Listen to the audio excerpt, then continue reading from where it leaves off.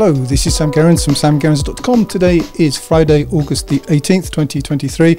And normally, what I do on this channel, at least a couple of times a week, is go through propaganda and break it up and look at it and explain why they're spinning up your minds and all the rest of it. But I thought today, you know what, I'm going to break things up because I know I'm bored with all of that. So I thought I'd entertain myself, if, uh, if nothing else. So, uh, as people who watch this channel know, I live in Russia. I happen to have a degree in Russian language and literature. I've spent about 23 out of the last 30 years here.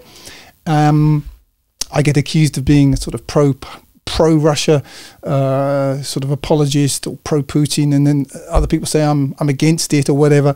I'm not sure. I'm not sure if, if those sorts of um, labels really apply. But one thing is for sure, I, I, have spent a lot of time here. So what I thought I'd do is break things up and uh, give you my alternative 10 best things about Russia. These aren't going to be the normal things that people say are good about Russia, you know, especially now. Uh, although they are true, like you know, you're not. Uh, it's, it's pretty safe, and uh, you know, no um, what Americans call trash on the streets, nobody dying of fentanyl all over the place, all those sorts of things. The fact that a lot of the buildings have been improved and the infrastructure and all of that. I'm not none of that stuff. Okay, it's none of the stuff that you get after you know you, you can pretty much see when you come here on on holiday. I'm going to give you the stuff that you you pick up over a, a life spent here. And so they, here they are. I'll make them quick. Yes, this is like a, uh, what YouTube is supposed to be. You know, 10 top things. Here you are. I'm supposed to count them off and it's supposed to kind of take eight minutes, 17 seconds or whatever. But I don't know if I can manage that. But I'll just give you my top 10 things of, of living here in Russia. Number one, uh, driving. Yes, I know you might be a bit surprised to hear that, given Russians' um, uh, reputation in driving. Some of which I have to say, to be honest, is a little bit unfair because quite a lot of what you'll see on YouTube uh, from Russian driving is a bit out of date. Like pretty much everything in this country, things are changing. They're changing very fast. I used to say about Russia, if you want to travel the world, just go to Russia and don't leave. Because, and what I meant by that was it just changed around you. Uh, this is part of what the, the, the problem the West has with Russia is the Russia is talking about now. Uh, the, you know, they're talking about a Russia of the 1980s or even 90s or even early 2000s, and honestly, that country doesn't exist. But there are still some some characteristics which have stayed true. So the driving is interesting, let's put it that. But there is a great thing about the driving here, which is when you do something, when you do something really stupid, you know, it happens, we all, we all do occasionally, nobody notices. I mean, they literally don't notice. So that's number one. Number two, fatalism. Fatalism here is a mixed bag. Uh, it takes some getting used to. It's somewhat uh, oriental. You see, Russians Russia is is a it seems it's either a synthesis or it's a, a conflict, a kind of um, amalgamation of East and West. It it is it is both, and whilst you do have you know the, a lot of the Western ideas here, you also have a fatalism which is which is takes some getting used to. Uh, it's changing a little bit. Um, in, in, Russian, it's kind of called sudzba, Sudzba. So I'll give you an example. Sudzba is, um, let's say I, I'm, I'm, I'm Russian and I have lots of money and I want to go on holiday and I want to go skiing.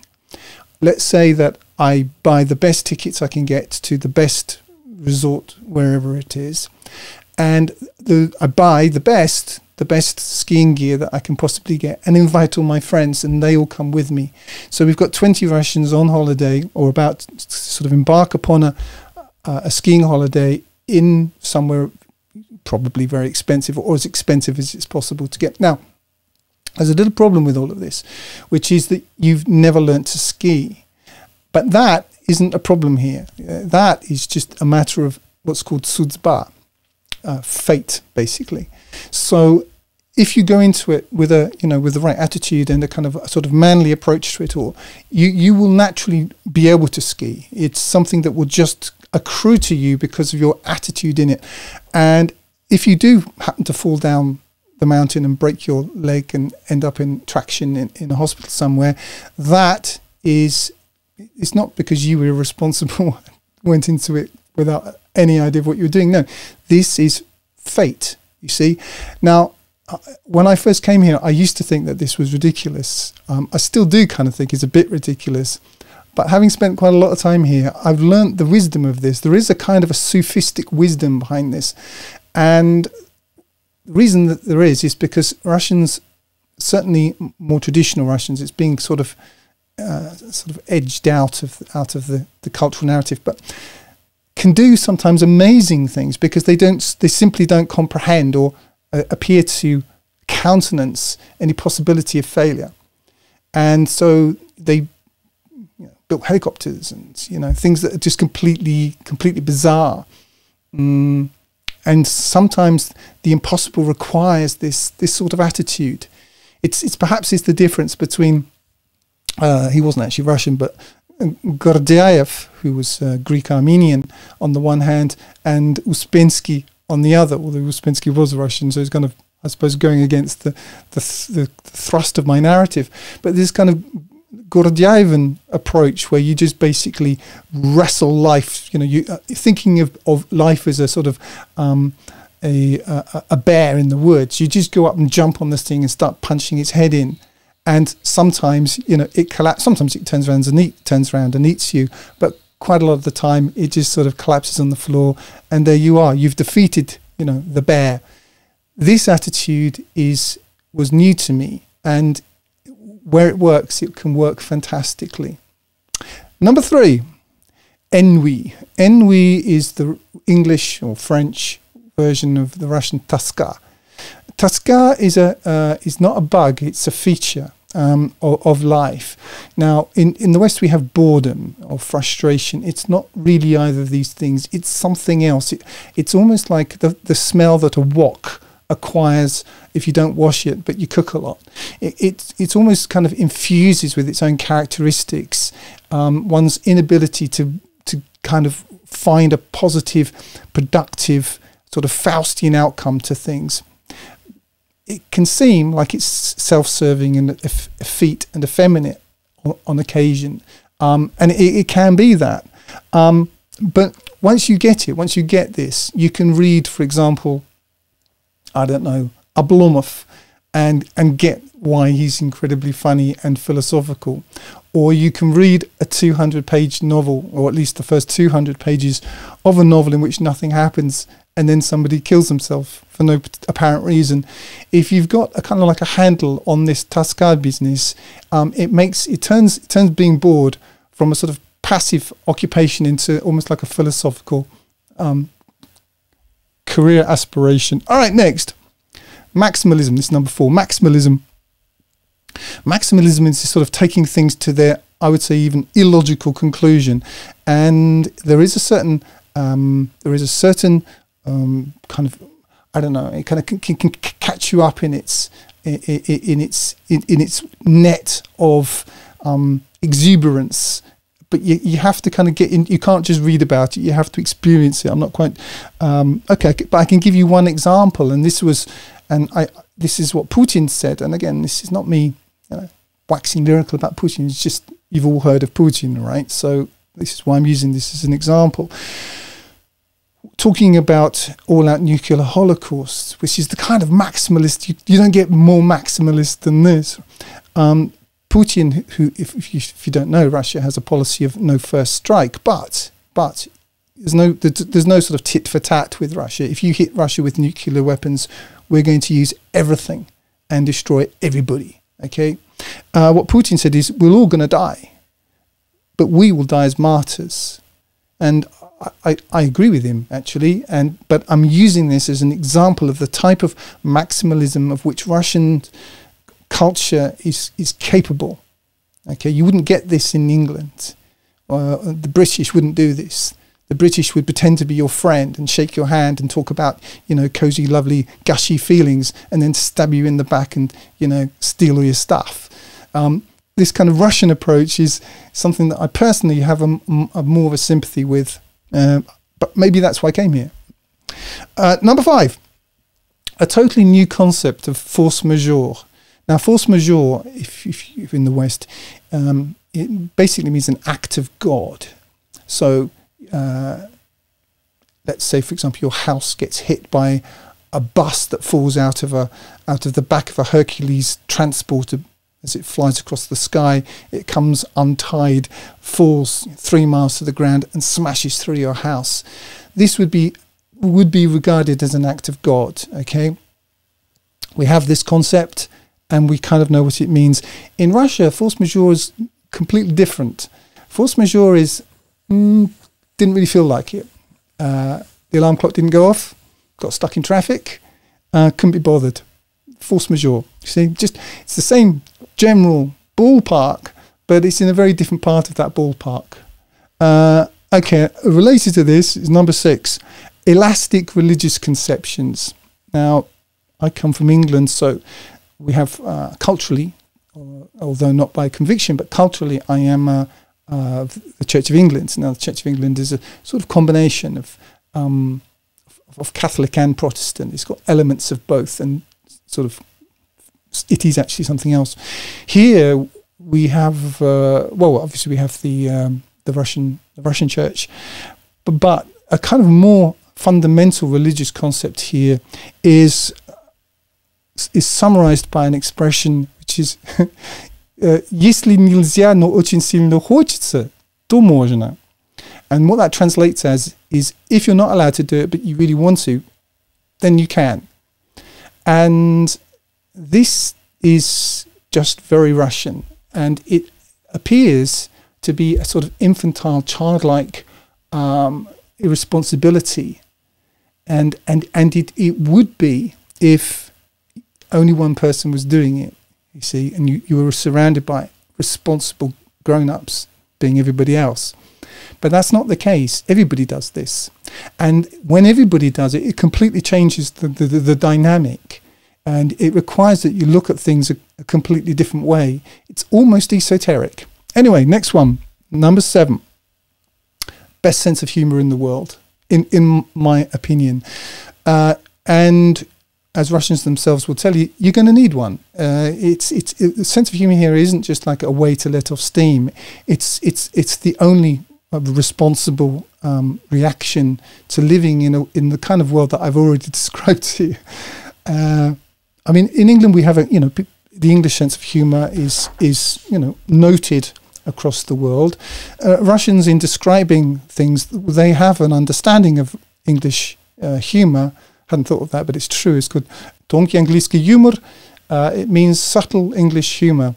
Um, what it means is, is it's not funny. Okay, but the, the, there is obviously fantastic English humour, but Russian humour tends to be uh, well, it's, obviously it's, it's, a broad church, as is English humour, but a lot of Russian humour is the ability, in fact, almost the re- requirement to laugh at oneself. And I mean, there have been comedy com- com- comics here, like just one, for example, Zadornov. That's basically all he ever did was take the rise out of about out of Russians as a as as a kind of as a as a civilizational entity. Um, I quite like Zadornov. I went to see him and I, I enjoyed it. But uh, it's not the only type. Just like you know Benny Hill, for example, or Mr. Bean, who are the, the two most famous types of English humour across the world because they didn't require any words, so they basically were pumped out all over the world in you know in in, in countries which don't speak English. That that's a very very small and minor part of English humour. Um, Russian likewise is is a very broad church and and multicolored and worth the effort, I would say. So that's another thing. Where was that? That was uh, number seven. I've claimed here that it's the best humor in the world. It's, it, I enjoy it, I have to say, and it makes living here possible. And uh, it's it's if you couldn't if you couldn't laugh here, it wouldn't it wouldn't be bearable. But I would say that it almost fits in with all the other things that I've been talking about. It's almost like the the cement that holds the rest of it together. Um, number eight of my alternative ten best things about Russia. Um, pathological philosophizing. A philosophy here, it is changing a bit. It's, but certainly when I first came here, it's still still there. I think in, in at least in Embryo. Uh, it's not like this is a pastime that only a few people do.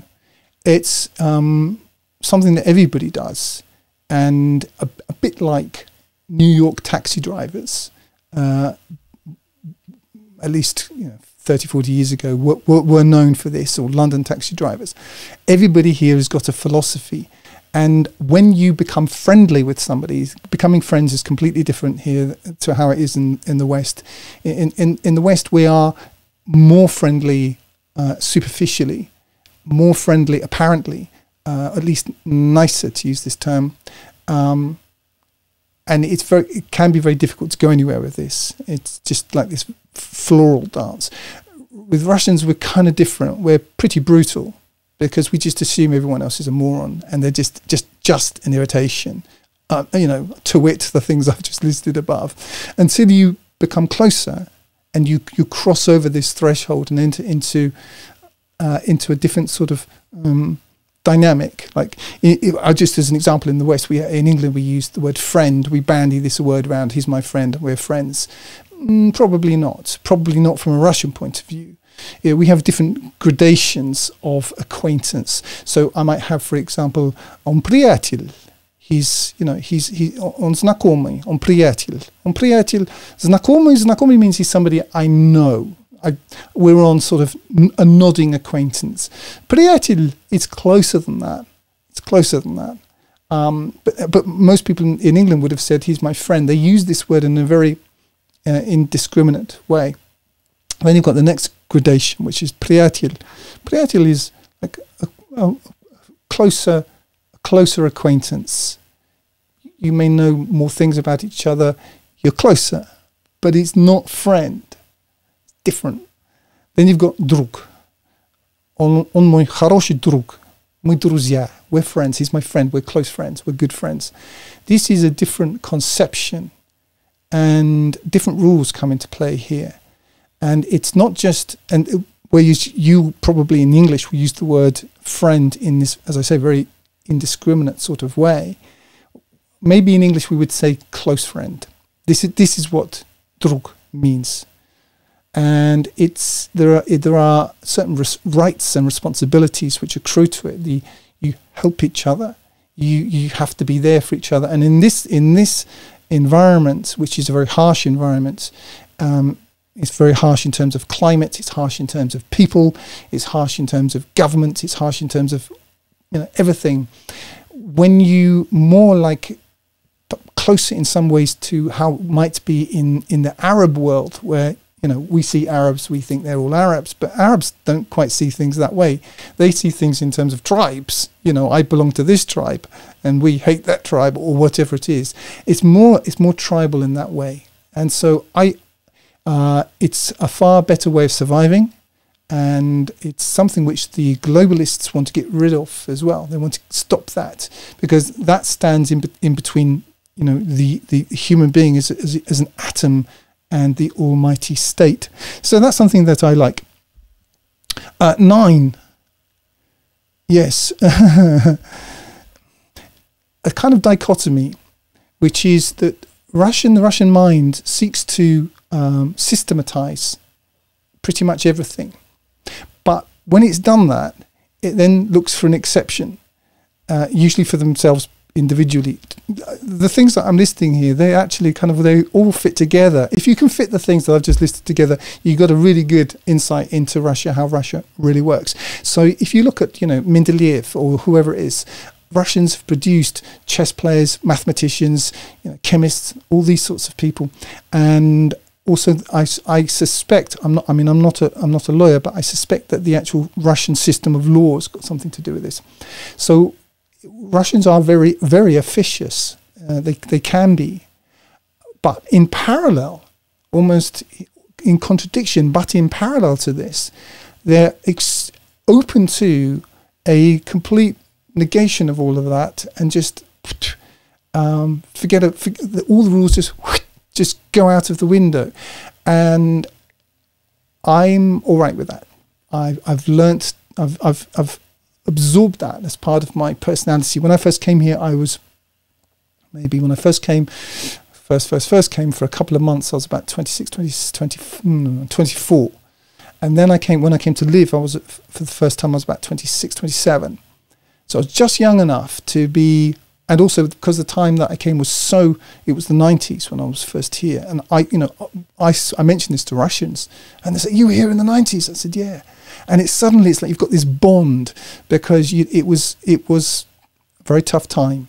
And I think the, the, the combination of the language and being here at that time and being in, in a country that was not only very different in and of itself but in complete turmoil at that time kind of remade me, gave me the, the chance to kind of go back and look at a lot of assumptions that had come come uh, with from from Europe, and in a way, it kind of it was almost like a like a Sufi experience of of breaking down all of those, breaking through the veil. I'm, I'm I didn't want this to sound hippie, but but but this is correct, and in but I never lost uh, what I came with. So I have these two gave me the opportunity to see things from very different perspectives. Um, it's not that I think that everything is just you know relative and you can just choose this and choose that.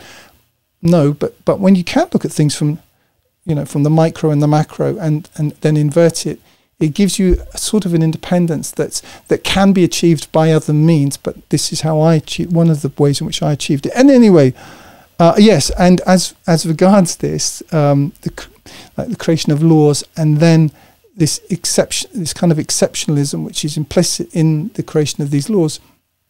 You have something which I've noticed in Russia, and which is again sort of woven into the waft and web of life here, which is uh, нет забора без дырки, and what that means is there there is no fence without a hole in it, and this is almost esoteric. That when you approach life in this way, it is um, there's always a way around things. Now, obviously, you can take this and say, ah, you see corruption, ah, you see this, ah, you see that. If you want, if, if if that's the level of your thinking, then okay, fine. And I'm not saying corruption doesn't exist here; it exists in every country. What I am saying is that there is a kind of a uh, a mindset of um, good-humored optimism that that is part of things here and it's something that I like and have benefited from.